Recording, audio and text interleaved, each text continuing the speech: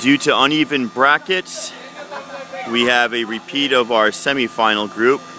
These two both won their semifinal rounds.